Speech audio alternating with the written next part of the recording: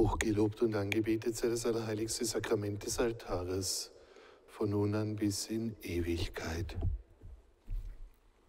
Hallo an euch alle, die ihr vielleicht live mit dabei seid in unserem Livestream hier in der Erlöserkirche oder die ihr diesen Videoclip, diesen kurzen Clip, den wir jetzt hier starten und schalten, den ihr vielleicht erst etwas später anschaut.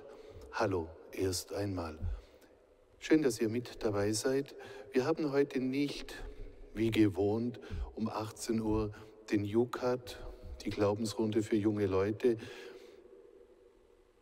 sondern wir möchten heute mit etwas ganz Neuem beginnen. Und ich mache jetzt wie diese Einführung, ich mache jetzt wie so den ersten Impuls, damit ihr wisst, um was es geht, was wir sonntags, wöchentlich, 14-tägig, es kommt ganz darauf an, wie es sein soll, wie das Format dann sein soll, dass wir uns sonntagsabend abends weiterhin hier treffen und eine Glaubensrunde machen. Und zwar geht es um Folgendes. Ein Amerikaner, gibt es ja viele, ein Amerikaner, der die Wahrheit gesucht hat, der den Weg des Glaubens gegangen ist, hat sich entschlossen, katholisch zu werden. Und er wurde vor wenigen Jahren, wurde er getauft und in die Kirche aufgenommen. Und in diesem ersten Jahr, das er gegangen ist, als frisch gebackener Katholik sozusagen, hat er ein Buch zusammengeschrieben, nämlich das erste beziehungsweise mein erstes Jahr in der Kirche. Und diese Erfahrungen, die er gemacht hat als frisch getaufter, als frisch Frischling in der katholischen Kirche, diese Erfahrungen hat er zusammengeschrieben, zusammengetragen. Für euch. Denn es geht nicht bloß darum, dass wir schon katholisch sind und katholisch geworden sind, sondern vielleicht auch, das betrifft auch all jene, die ganz neu den Glauben kennengelernt haben, die ganz neu so zu einer christlichen Gemeinde dazugestoßen sind, die vielleicht im Sommer einmal auf einer Wallfahrt waren, beispielsweise nach Medjugorje und dort berührt worden sind und jetzt geht der Alltag weiter. Und für euch genau soll dieser soll dieser Glaubenskurs, diese Glaubensrunde, die jetzt gar nicht einmal so lange gehen wird, nicht so lange wie der Jukat, und da sind wir auch ziemlich weit gekommen mittlerweile. Das waren schon viele, viele, viele Sonntage, wo man ganz viel hat lernen können. Aber es ist etwas Schönes, wenn wir auch mal was Neues anfangen. Und es ist ganz gut so, wenn wir etwas Neues beginnen. Und so wollen wir dieses Buch herannehmen, dieses Amerikaners, der katholisch wurde, oder schon vielleicht auch der andere, die andere von euch schon katholisch ist, katholisch getauft, berührt wurde und dann auf einmal so sich seine Gemeinde sucht. Denn das ist jetzt das Allerwichtigste. Fragen zu stellen,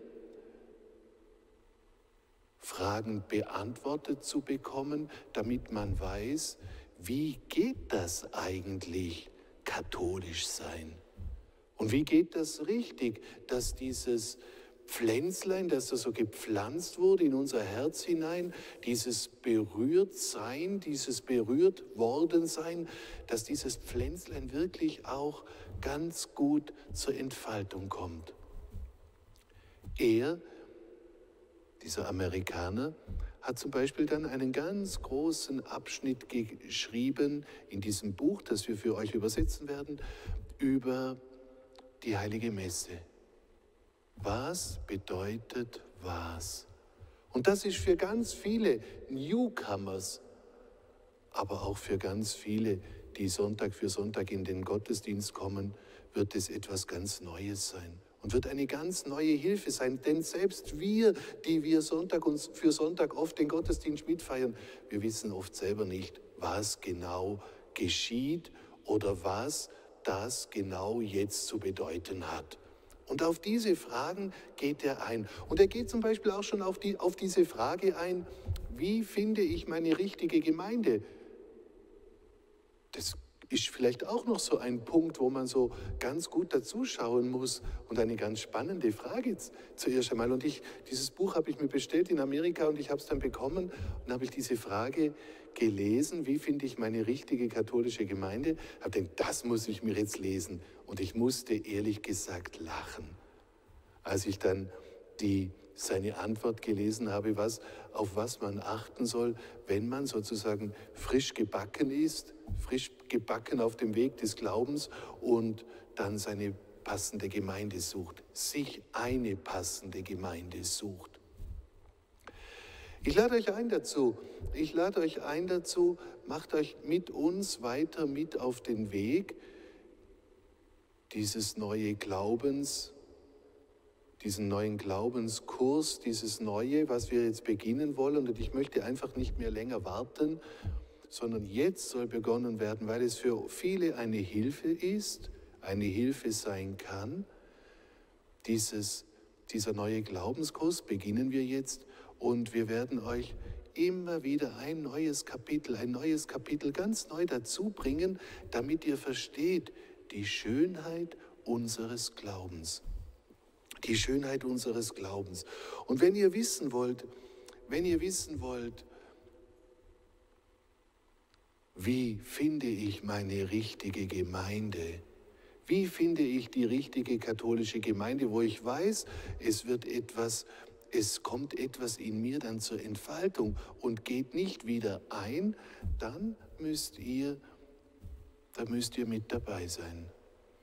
Ich glaube zumindest, dass es etwas ganz Spannendes sein kann, denn die Glaubensbildung, und das haben wir so beim Jukat immer gemerkt, die Glaubensbildung, die hat noch enormen Nachholbedarf, dass wir unseren Glauben kennenlernen, dass wir wissen, was ist eigentlich der katholische Glaube? Was ist das? Und es, es kommen immer viele Menschen, und das war so ganz interessant, heute auch, heute war ich im Krankenhaus, habe jemanden besucht und dann habe ich da den Sohn getroffen, dieser Frau, und dann haben wir hinterher sind wir vor dem Zimmer gesessen, beide haben die Maske aufgehabt und dann haben wir so gesprochen und der hat mir so gesagt, ja, es überfordert mich alles so und es, es ist mir fast zu viel irgendwie so und, und dann haben wir über den Glauben gesprochen. Und dann lade ich ihn einmal ein, in den Gottesdienst zu kommen. Dann lade ich ihn einmal ein, als Newcomer zu kommen. Und dann muss ich ihm sagen, schau, das bedeutet das, das bedeutet das, das bedeutet jenes. Und so wird das gesehen. Und das ist das Zeichen, das Sinnbild dafür. Und so werden immer wieder neue Menschen dazukommen. Vor allem auch, wenn ich möchte, dass sie nicht bloß sozusagen eine Alltagsfliege sind, sondern dass sie, dass sie nicht bloß eine Alltagsfliege sind, sondern dass sie wirklich immer mehr so den Glauben erkennen und verstehen und schätzen lernen, dass sie wissen, für was entscheide ich mich eigentlich. Ein Angebot. Ein ganz ein kleines Angebot, ein ganz ein einfaches Angebot, aber ich glaube, und das habe ich beim Jukat so gemerkt, ich glaube, wenn man sich auf diesen Weg einlässt und wenn man den Jukat, den wir bisher immer so angeboten haben, Jukat Rosenkranz könnte man auch sagen, dann merkt man eigentlich ganz gut, dass man schon einiges hat lernen können dabei. Denn eine Bedingung gibt es sozusagen für den Erfolg. Eine Bedingung gibt es, dass man dauerhaft ist, dass man wirklich diese Ausdauer hat und dass man sich wirklich auch damit beschäftigt. Nur dann kann sich etwas entfalten. Wenn wir immer so groß anfangen und dann hört es auf einmal, werden wir immer weniger, weil es mich eigentlich gar nicht interessiert oder es gibt eine Durststrecke und man hat keine Lust mehr, dann höre ich automatisch auf. Also die Ausdauer, den Glauben kennenlernen zu wollen, die ist äußerst wichtig. Äußerst wichtig. Und sie wird aber, wenn wir mit der Gnade Gottes, und Gott gibt mir seine Gnade dazu, wenn wir mit der Gnade Gottes zusammenarbeiten, dann kommt sie immer zur Entfaltung und ich darf im Glauben wachsen. Im Glauben, im Hoffen, im Lieben. Und das heißt auch dann, ich darf wachsen im Vertrauen, dass Gott mir hilft. Und dass ich heute im Krankenhaus gerade diesen jungen Mann da getroffen habe, so, das war irgendwie dann auch kein Zufall, sondern es war wie gefügt von Gott, dass ich ihm, ich habe ihm dann zum Beispiel die Hingabe-Novene versprochen. Die kriegt er jetzt von mir, diese Hingabe-Novene, die so, die ihn dort abholt, wo er gerade steht, die die Punkte anspricht, die ihn da vielleicht so gerade belasten oder bewegen oder bedrängen, was auch immer. Und so kann dieser neue Glaubenskurs, den wir jetzt miteinander beginnen, der kann genauso für manche Leute eine Hilfe sein, denn er holt sie genau da ab, wo sie vielleicht Hilfe brauchen, nicht mehr weiter wissen, da wo sie vielleicht eine helfende Hand oder ein helfendes Wort brauchen. Geht mit, macht mit und wir werden immer mehr die Schönheit unseres Glaubens kennenlernen. Herzliche Einladung dazu.